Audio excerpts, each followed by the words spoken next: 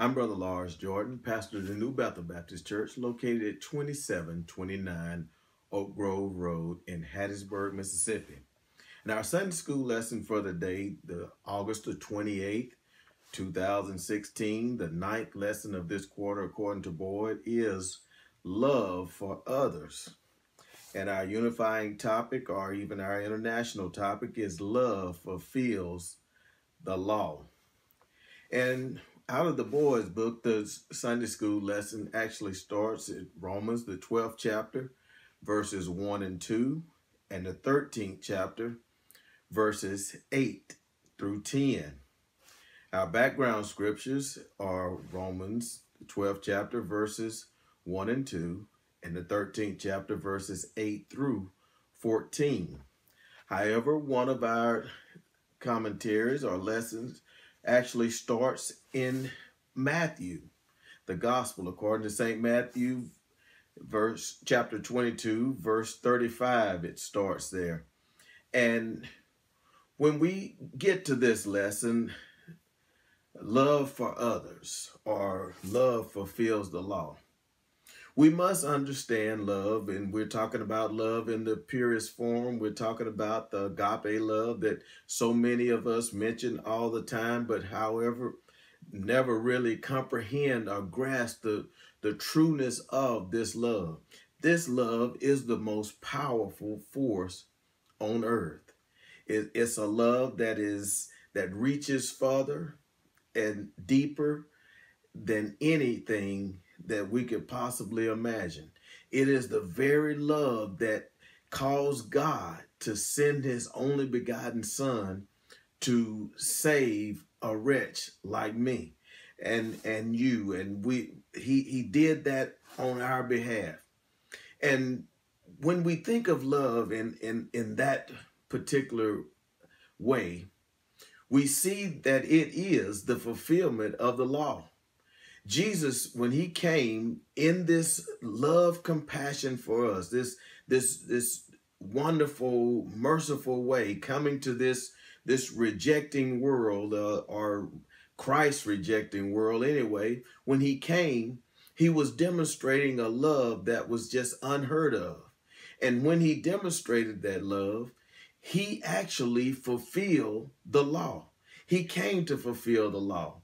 So when we act in the same type of love, we fulfill the law of love toward our brothers, and we fulfill that in in the love that we share with them. Now, Jesus is the ultimate fulfillment of the law. He is the one that died for sin, but we have a part in this. And our part in this, this is mentioned in this lesson today as the apostle Paul is still talking to the church there at Rome. He is right. He wrote this letter to them. He had gone through a great deal of doctrine before he got to this part where he, he starts talking about the practical application of the doctrine that had been teaching since the first chapter through the 11th chapter.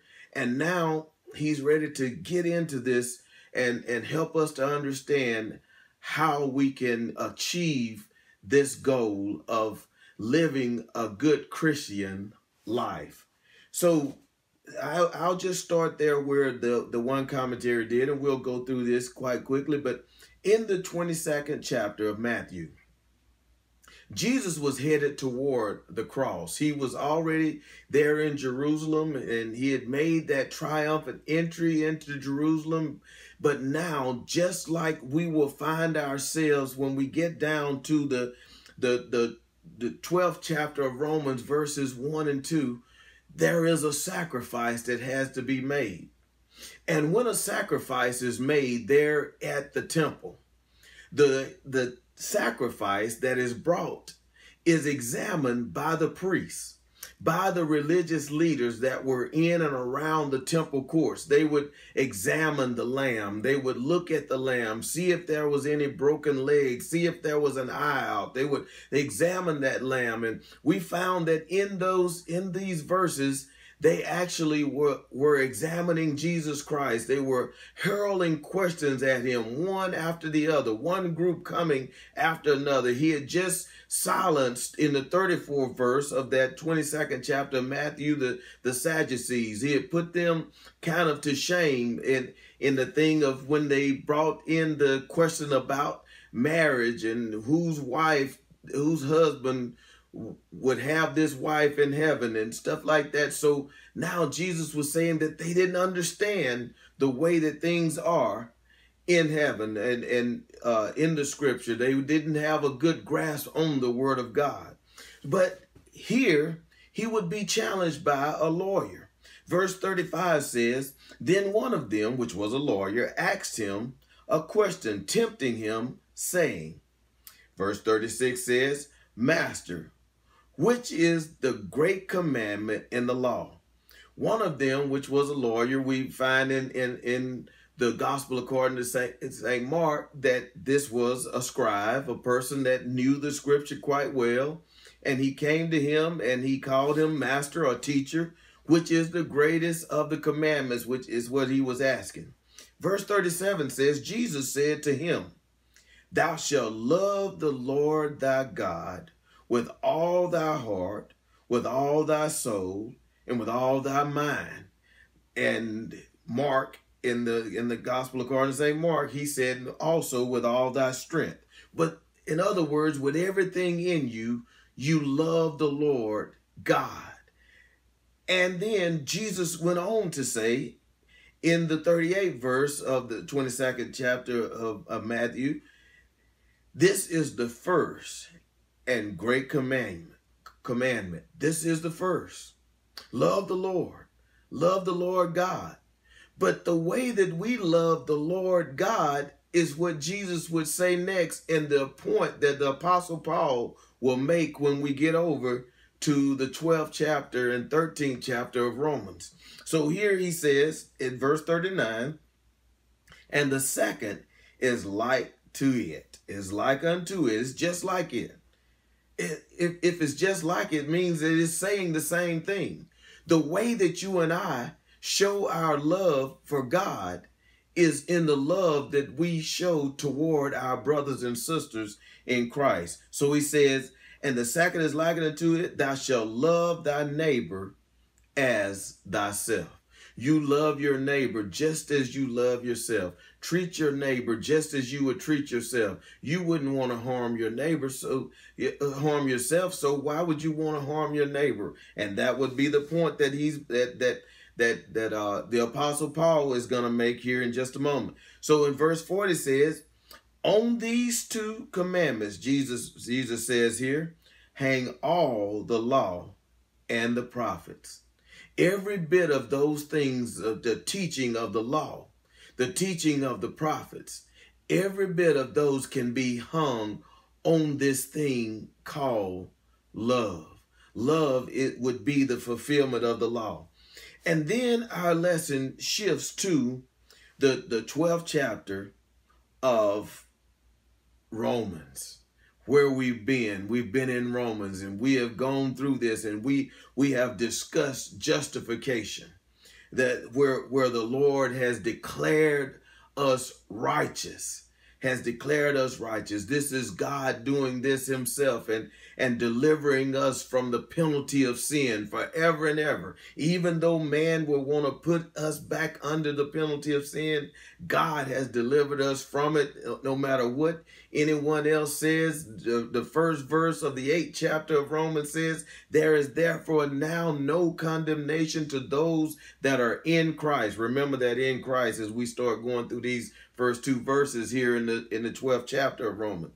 He says here that that he's also delivered us from he's also so sanctified us or is sanctifying us. We are going through this process of sanctification where we will be delivered from the power of sin be delivered because we're not totally de delivered from the power of sin the old man is is rendered inactive but he is still there and every now and then he can rear his ugly head and we'll go the opposite direction of where we're supposed to be going. So we will we're delivered from the power of sin. Sin doesn't have the power over us anymore. We still make the choice whether we're going to follow through with that or not. And though that is the thing that God is doing where he is he is bringing us to a point that he wants us to be one day delivered from even the presence of sin out of this life into the precious arms of Jesus Christ. So the, he says here in the first verse, the Apostle Paul says, I beg you, I beseech you, therefore, brethren. He said, I beseech you, I, I, I'm begging you. In other words, I'm not going to even say, I command you at this point. Yes, everyone else is going to say I command you, but I'm going to beg you. I'm I'm going to beg you to do this out of the the very love that you have for the Lord because of what he has done for you. He said, I beseech you, therefore, brethren. Now, that word therefore, I noticed that everyone kind of alluded to that word there, therefore as we read through and, and studied this lesson. When we uh, whenever we see the word therefore, we need to ask, what is it there for?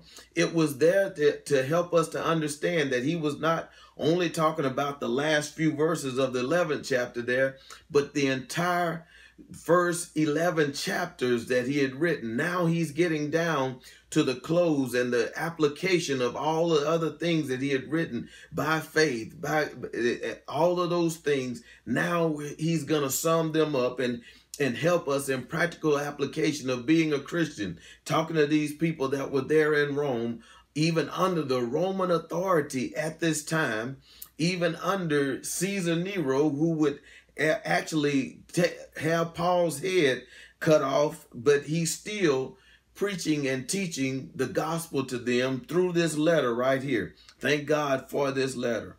He says, I beseech you, therefore, brethren, all those things that we have written before, by the mercies of God, because God has been so good to us, that's why we should do these things right here. We should do them out of pure gratitude for what God has already done for us.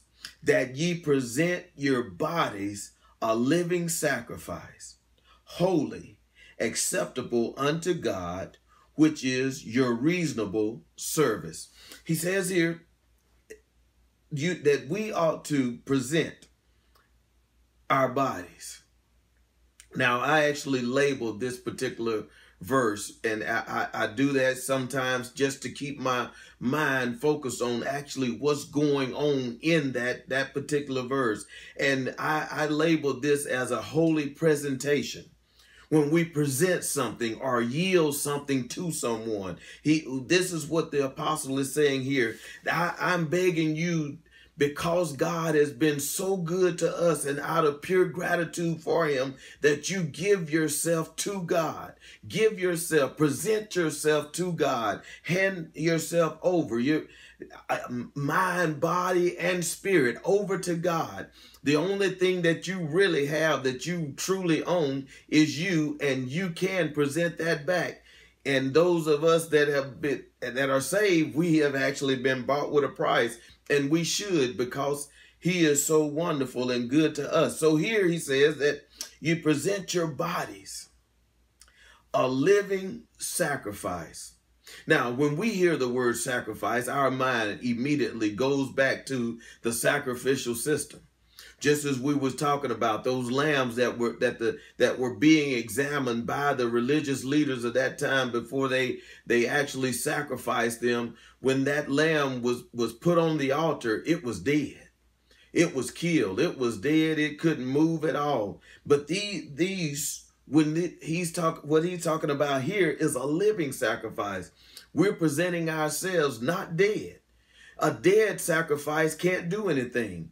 These sacrifices are actually supposed to be able to operate and do things that that the, the Lord wants us to do. When we present ourselves, when we uh, sacrifice our ourselves for him, not not life going out of us, not a dead sacrifice, but a living sacrifice or a quickened sacrifice. We this daily laying aside what we want to do what the Lord wants us to do, to be involved in the things of, of Christ, to, to promote the kingdom of Jesus Christ. A living sacrifice, a dead sacrifice couldn't promote the Lord, couldn't promote the kingdom of God. There's no love in a in a dead sacrifice. In, in that which is dead, it is dead. It can't do anything. But a living sacrifice. Not only a living sacrifice, but it also has another another thing here to describe this sacrifice. This sacrifice is also holy. Holy takes it to another level also because holy means it is sacred, it is consecrated, it is set apart, it is sanctified, it is there for the service of God. This this this sacrifice is there for the service of God. A dead sacrifice can't do anything. It's dead. After it's cooked off, that's all it can do. It, it's it's nothing to, to that the Lord can do with that which is dead. So a living sacrifice, holy, holy. This this thing is dedicated for the services of God, doing the will of God, doing what God wants us to do or requires of us as being people of God not only holy, but also acceptable unto God.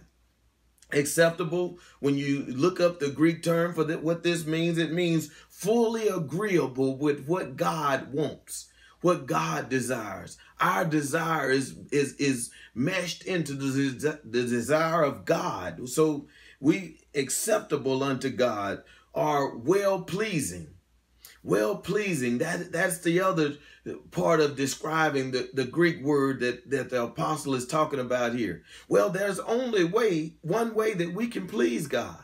He has told us that without faith, it's impossible to please him there in, in Hebrews 11 and 6. So we can't please God without faith, but we are sac sacrificing everything in us, wanting to be there for the Lord, do the things that the Lord wants us to do. And giving ourselves completely to him in this sacrifice, a living sacrifice, holy, consecrated, set apart for the service of the God, full of faith to act upon the things that the Lord wants us to do.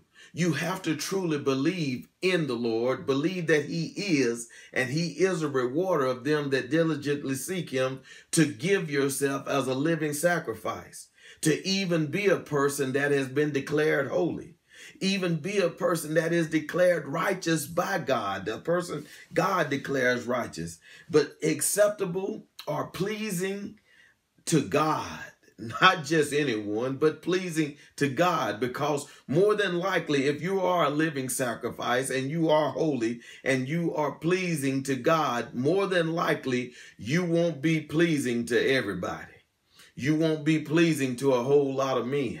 You you'll you'll be pleasing to God. You'll you'll desire the will of God, which is your reasonable service or your logical response to how good God has been to you, which we find in this in this word is is our spiritual worship. This is our spiritual worship that that we give ourselves to the Lord. Now now the Lord can use us. Now giving living us giving ourselves a living sacrifice. This is this, this is kind of because we're there to be holy and, and and acceptable. This this presents a problem when we believers think about this, we look at it and we say, well, wait a minute, I have some hiccups and downfalls every now and then, and the just man falleth seven times, and I find myself falling more times than the just man sometimes. But the good part about this is what we mentioned a moment ago when we said that the apostle said in the eighth chapter, verse one, there is therefore now no condemnation to those that are in Christ. By the mercies of God, you present your bodies a living sacrifice, holy and acceptable unto God. But these are people that are in Christ. So when, even when your hiccup happened, God already has you. You're in Christ. Matter of fact, he said, Jesus said that you're in my hands or in my Father's hand. Also, there in John 10, and no man can pluck you out. and th- at this point, you can just give yourself totally and completely to the Lord. But that's not all the apostle said. He said also in the in the second verse of the of the of Romans the the 12th chapter, he says, "And be not conformed to this world, but be ye transformed by the renewing of your mind, that ye may prove what is that good and that acceptable and perfect will of God. This is a wonderful scripture right here. It says, Be not mashed or forced into the mold that our age right now has, the, the time that we are living in has. We don't be conformed to this world.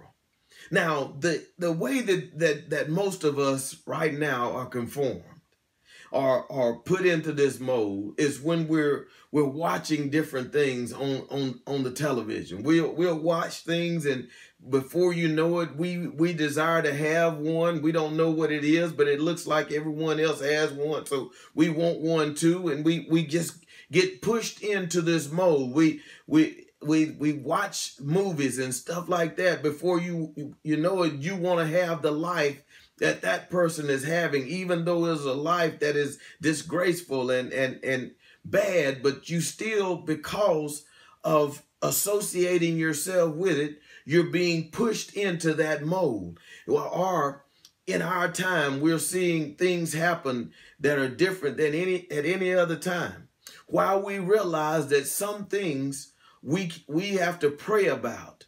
We have to love that person into submission.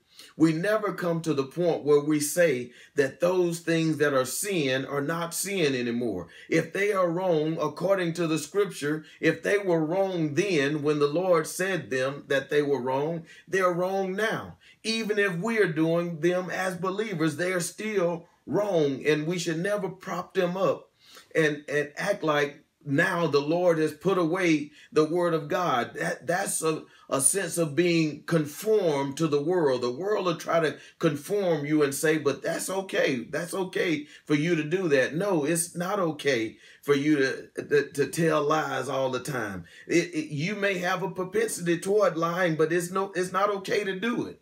Anyone might, might have a propensity toward any type of sin, but it's not okay to do that sin. It's not okay is still wrong according to the word of God. So don't be pushed into the mold that the world wants you to be pushed into. But the apostle says, but be ye transformed. Metamorphosis are that which happened to Jesus there at the Mount of Transfiguration, where he was transfigured before these disciples and they were able to see him but there, there as he had met with with Moses and Elijah the law and the prophets and they were talking uh, concerning his death. And the, the disciples got to see him in this glorified state. But here be ye transformed. How? By the renewing of your mind. Having a mind a change of mind. Now this is this is this is a passive transformation. So it we we say that th- this is something that we can't accomplish on our own. We can just say I want to do it and and and think that it's going to happen. It's not going to happen like that. This is something that is that takes place under the power of the Holy Spirit as we seek the Lord more, as we study the word of God more. These are this is a transformation that happens. It doesn't transform all of a sudden like some people would want it to. So you'll see someone and you'll want to get down on them because they hadn't got to the place that you want them to be in or hadn't matured to the place that you have matured to. So we'll get down upon that person and and start to drag them down, but the, the scripture is letting us know here that this is a transformation. That, that it, it happens in time. It happens actually in the Lord's time. The Lord helps has helps us accomplish this. This transformed by the renewing of our mind. Our mind is transformed as we bring ourselves where the blessings of the Lord are flowing, where his word is flowing, where we, we hear the word and, and, and that faith comes by hearing the word or we study the word and, and now we're not ashamed of, of sharing that word. So Here, by the renewing of our mind, our mind having a total change, change changing, not, not all of a sudden, but changing, that ye may prove or discern Make, that you may discern or, or know and you have been able to put this through a test or a grid. You may that you may be able to prove what is that good. Good even when we can't conceive what it is we, how good it is or, or this this thing to be the will of god is. Even if we can't can't can't get it in our mind conceive it but we can out of experience know that God is good, that which is good and acceptable. That acceptable when we recognize it's good. We know that it's good and and it would be a hearty endorsement by us as believers when we get to the point where we accept the will of God and a perfect will of God. Perfect is when we in that we achieve the desired end that God has in mind. This is where God wants us to be. This is what God's will is. We delight ourselves in the Lord and he gives us the desires of our heart. He brings us to a certain place and he helps us to, to perform this. We, we, we approve it, but it was God that helped us to get here. And then our lesson switches to the 13th chapter of, of this Romans. So he says here, helping us to understand the fulfillment of, of the law, the love it fulfills the law. He says, owe no man anything but to love one another. For he that loveth another has fulfilled the law. This is a most powerful scripture here. Because in this he started out talking about the powers that are over the people at this time the governmental powers that that are that are over over everyone. He was talking about a person like Caesar Nero as we mentioned earlier who was in power at that time. But he was say, saying here to owe no man anything. He wasn't talking about doesn't don't go out and get a loan. If you can afford to pay it if you can pay it that's that's fine. He was he he uh, he he kind of uh, alluding to things, but not being owing someone and never paying them back. But he wanted us to understand this though, but to love one another. You can owe them this. Owe them love. Always stay in debt to love. This is the debt that you can never pay off. Yes, I know you can seems like you can never pay off the light bill or the gas bill or or things like that, but this is the love. This is something that you really never pay off is to love one another. For he that loveth has fulfilled the law, the apostle says. And he went on to sum that up in the next two verses. He said, For this, thou shalt not commit adultery. Thou shalt not kill. Thou shalt not steal. Thou shalt not bear false witness. Thou shalt not covet. And if there be any other commandment other than those right there, other than adultery, killing, stealing, or bearing false witness, or even coveting, wanting something you already have enough of, if, if any other commandments come in there, he said, it is briefly comprehended in this saying, namely, thou shalt love thy neighbor as thyself. Verse 10 says, Love worketh no ill to his neighbor. Therefore, love is the fulfillment of the law. If you love me, you won't hurt me in that way. Father God, we do thank you today for the study of your word. And Father, we pray that this word will get in our hearts and minds, simmer on us all the day long. Lord, help us to be better servants for you because, Lord, you have implanted this word in our heart. Lord, we pray that you'll search our hearts. Forgive us of sin in the name of Jesus, we pray. Amen.